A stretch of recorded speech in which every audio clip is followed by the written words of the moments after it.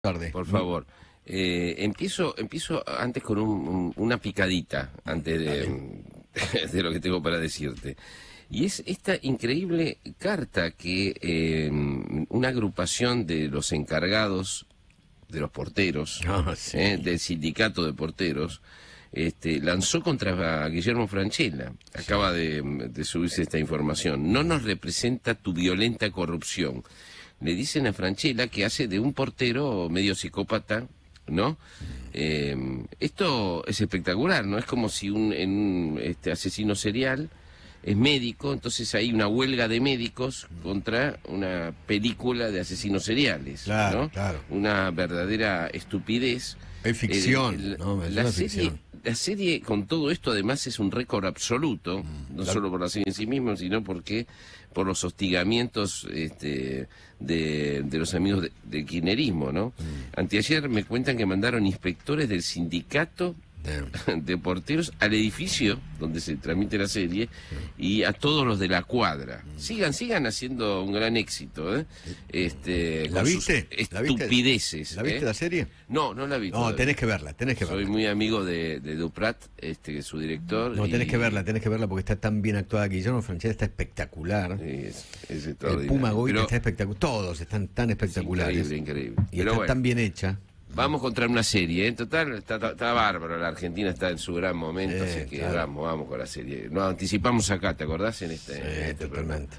Bueno, a ver, este, ayer la interna al rojo vivo, ¿no? De la oposición, por segundo día en una semana, es decir, por segundo día en una semana logró desplazar del centro de la escena, Eduardo, la feroz lucha intestina del kirchnerismo y el preocupante agravamiento de la economía. Primero fueron los radicales, que montaron un homenaje a Alfonsín y terminaron hostigando a Macri.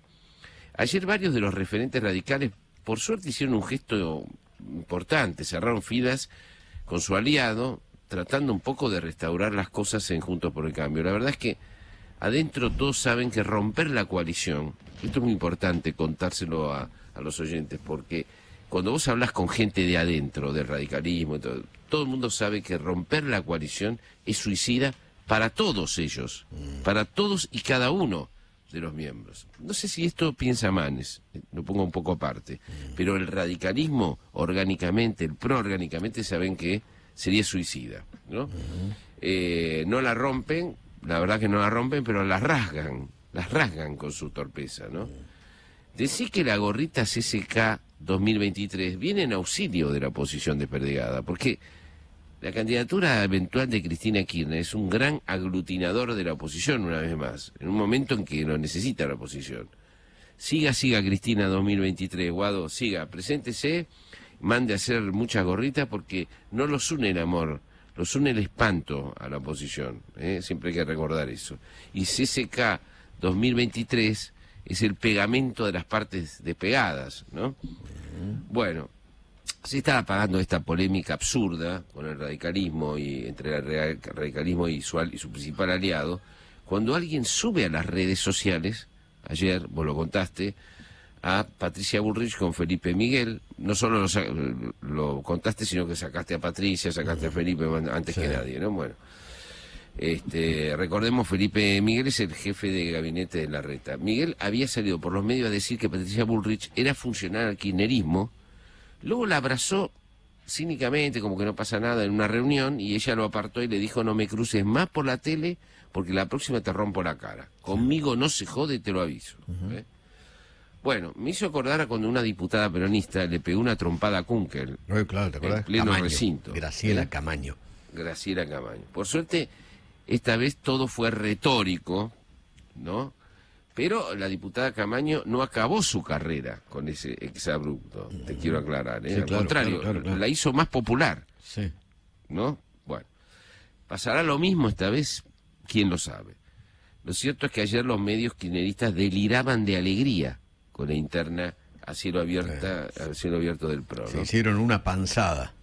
Una panzada, exactamente. Bueno, la coalición opositora, como decíamos ayer, se perdió la oportunidad en su momento de crear un reglamento interno para el funcionamiento, la operatividad, la convivencia, donde, por ejemplo, se estableciera cómo votar y unificar posiciones en, en el Congreso o los proyectos legislativos, o la disciplina que debe existir para no sacar los trapos al sol, por lo menos hasta la campaña interna. Porque si esto, esto estuviera ocurriendo en plena campaña de las PASO, en, en campaña oficial, no como ahora, bueno, son cosas de la campaña, de alguna manera, ¿no? Pero no, está ocurriendo muchísimo antes, ¿no? Este, bueno, no se hizo ese reglamento y lo que vemos ahora es un grupo de gente ambiciosa peleando como niños en una vidriera. Eh, no se puede convalidar el lenguaje violento de Patricia ni de nadie, pero tampoco las operaciones de doble juego que hace el larretismo. La anterior experiencia, ¿te acordás, Eduardo, de una interna en el PRO? Fue cuando Larreta compitió con Gabriela Michetti. Exactamente. Ahí recibió el apoyo de Macri. Claro, exactamente. La, Larreta tenía todo el aparato, los fierros, la policía oficial, los aliados con em- empleados eh, y con cama adentro, la ciudad toda tenía, la estructura de la ciudad toda. Lo tenía Macri. Claro, Michetti no tenía ni el apoyo de Macri, siquiera, ¿no? Perdió dolorosamente y nunca contó en público las perradas que le hizo el larretismo. Se las guardó para no perjudicar al partido, pero las hubo, ¿eh? Sí, las sí, hubo sí. y muchas. Y, Y también para aquellos que apoyaron a Michetti. también, eh, Por ejemplo, venganza para, por para ejemplo otros. Montenegro. Claro, exactamente, exactamente. Buen, buen recuerdo. Y otros, y otros, la Y ligaron otros, también.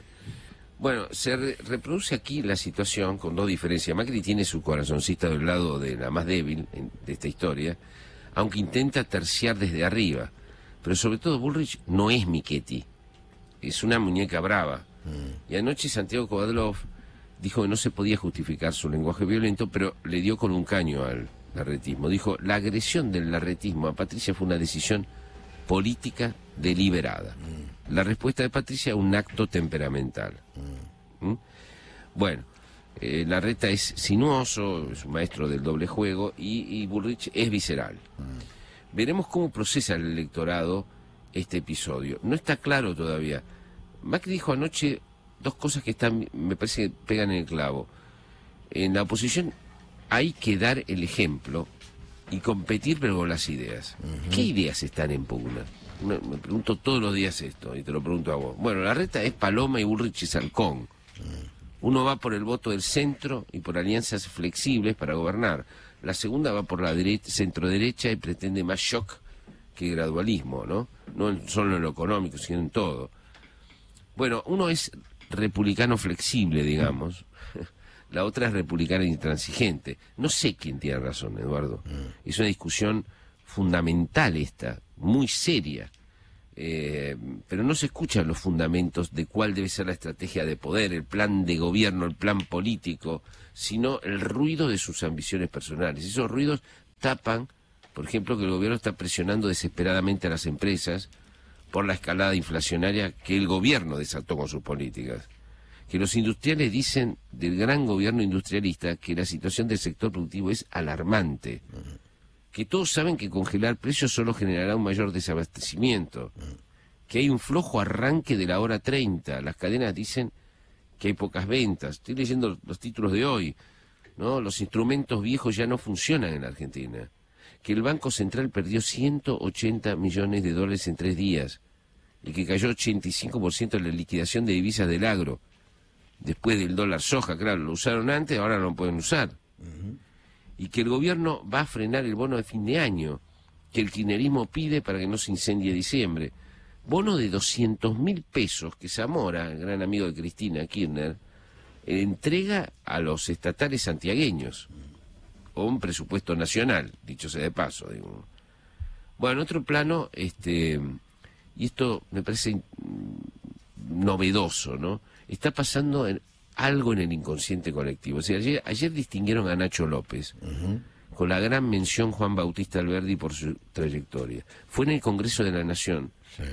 eh, Eduardo, y se transformó, ¿sabes? En- lo contó Miguel Guñaski, que estuvo ahí, en un gran acto político donde se vivaba una y otra vez a Raúl Alfonsín. Alfonsín está en boca de todos Claro. por el libro de Juan Carlos Torre, por la excelente biografía política de Pablo Garchunov, porque se les, se le escamoteó protagonismo en la película de Darín y eso le dio más relevancia, paradójicamente, y por los homenajes del radicalismo este fin de semana. ¿Qué hay debajo de toda esta movida, más casual que deliberada? No solo un rescate justo de alguien que se equivocó en la economía, vamos a decir, se equivocó fiero, pero que fundó la democracia moderna, un hombre bueno, acosado en su momento por la mafia sindical y por el pejotismo destituyente. No sé, flota en el ambiente, además, junto con la palabra Alfonsín, el deseo de una parte de la sociedad, me parece, de acabar con un régimen, de dar vuelta de página y lanzarnos a otra forma de la política y de la esperanza. Antes fue la democracia, quizá esta vez sea de verdad la república, Claro. quién sabe, ¿no? Es una conjetura mañanera, Eduardo, tal vez fruto de la ilusión. Junto con este mm, fenómeno reflotan nombres como los de Nacho López, que cuando el periodismo y la intelectualidad, ahora kirchnerista, callaba, él fue capaz de hacerle una valiente pregunta por lo desaparecido al propio Videla en una conferencia de prensa. ¿no? Se idolatran a Walsh, a Berbisky, a otros este, eh, periodistas, pero se invisibiliza a un demócrata de verdad como Nacho López. Igual había pasado con Magdalena Ruiz Ñazú, que corrió enorme peligro llevando los reclamos de la madre de Plaza de Mayo a la radio en medio de la más férrea censura militar, y con Graciela Fernández Mejide, que fue fundamental en las investigaciones de la CONADER. Las dos lo fueron, Magdalena y Graciela. Y también invisibilizaron a Ernesto Sábato, que escribió Nunca Más. El kirchnerismo llegó a- ponerle un prólogo, ¿te acordás? Distinto para tapar las denuncias que Sábato hacía sobre las facciones guerrilleras de la derecha y de la izquierda en los Claro, 70, claro. que tan funcionales fueron a la dictadura militar y que establecieron el, el crimen político como metodología de acción bajo el gobierno constitucional de Juan e Isabel Perón, que por supuesto fueron parte del problema, no, de- no víctimas, sino parte del problema. ¿no? Es decir, ninguno de esos cuatro héroes de la democracia está en el panteón de los ídolos, donde están los ex montoneros. Los alumnos de los colegios no los conocen, a Nacho López, a Magdalena, a Graciela Fernández Mejide, a mm, este, a Ernesto Sábato, no los conocen, se los borró a todos. Claro. ¿eh? por, por adoctrinamiento.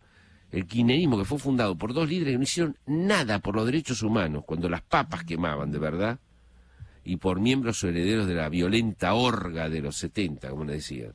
Pero como dice la canción, la historia la escriben los que ganan, eso quiere decir que hay otra historia. Y hay otra historia. Y está volviendo, Eduardo. Y así como las peleas menores de Bullrich y Larreta son un síntoma de frivolidad y ambición en la oposición republicana, el resurgimiento de Alfonsín y el rescate de estos héroes verdaderos también son síntomas. Son síntomas de que el relato y la mentira de la historia mañana se puede estar resquebrajando. Ojalá que sea así. ¿eh? Ahora son